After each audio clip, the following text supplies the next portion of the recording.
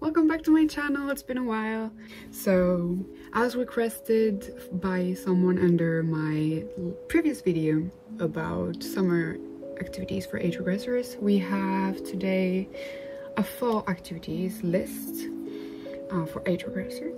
I don't have a lot actually. It's sad but yeah i did my best to make this list. But yeah i have two categories. The first one is uh, fall activities and the next one will be Halloween specifically. So without further ado, let's get started. The first one is create a garland with felt. So basically you can DIY anything, uh, but this is an idea I found. So you can make uh, a leaf garland, a pumpkin garland, a mushroom garland.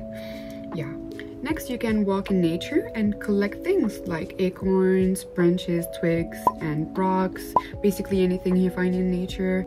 Then you can press leaves or flowers. You can do this into your journal or you can even frame them like use them as decor. And the last thing in the fall section is decorate your space with fall themed items. So it can be anything. You can try to diy anything basically like um, a pumpkin cushion. Next we have the halloween section. So i found these cool um, halloween themed food and i think and i thought i need to have this on this list. So cook some halloween themed food like pizza cookies desserts etc like anything make it spooky.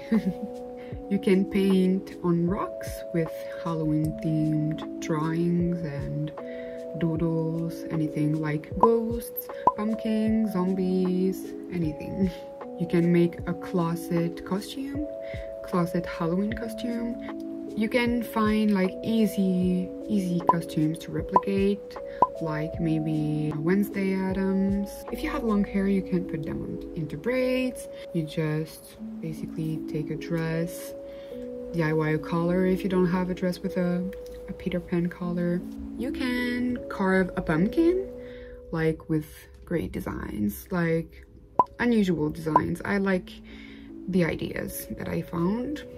You can go buy things like this, like Halloween coloring and activity books. I think they're super cool. So for ideas, these are the things you can find in this. And this one is a Disney princess ones. So it has stickers. That's so cool. So yeah, that's cute. That's cute. Like, yeah. You can draw your favorite character with um an Halloween themed uh, outfit. You can do this in your journal or anything. You can color a picture you found on the internet and decorate your room with it. You can watch shows uh, like Over the Garden Wall, for example.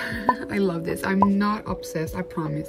I am obsessed. You can watch movies like the Nightmare Before Christmas, Coraline, etc.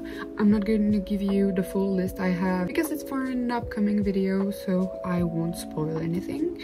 So yeah, I hope you've enjoyed the video. It's the end, I'm sorry. I don't have a lot today, but yeah, I hope you've enjoyed it still and see you in the next video.